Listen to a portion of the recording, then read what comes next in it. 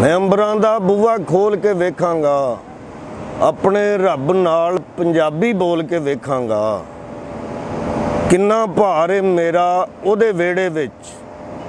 ਉਹਦੇ ਤੱਕੜ ਉੱਤੇ ਤੋਲ ਕੇ ਵੇਖਾਂਗਾ।